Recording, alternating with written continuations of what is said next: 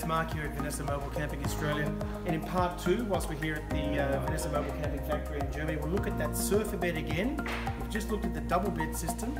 Let's now have a look at the single bed system for the surfer bed with the double bed expansion as well. It just gives us more flexibility uh, when considering how we use our, our multi-van.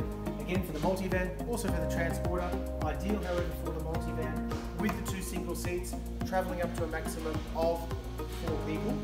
Uh, let's have a look at this now.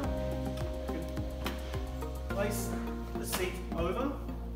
We can see here we have two single bed pieces. We can buy just this single bed piece on its own. We don't need to buy the double bed expansion. Let's have a look at uh, pulling this up and out. Leg down. Hopefully the dog's not in the way. And there we are. We the mattress now over. And there is our bed. I'll put the seat back up. Didn't need to turn it over except for better, better viewing.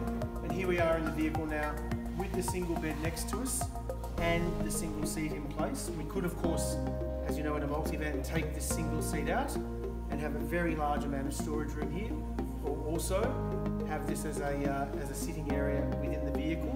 Maybe we have the swivel seat in front of us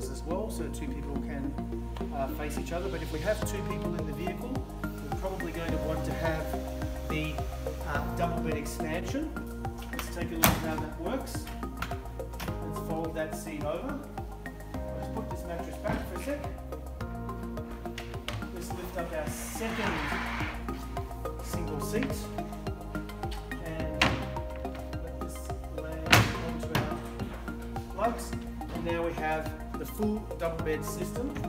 Again with the first single mattress. I'll just go grab the extra mattress.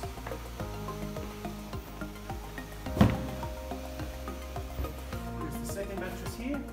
We have now a full double bed solution with the ability to store underneath the bed the surfboards or other uh, kite surfing or uh, fishing rods, whatever it may happen to be, can now be underneath the bed here. To put it back, very simple. Mattress is back. lift up the leg, fold the leg under.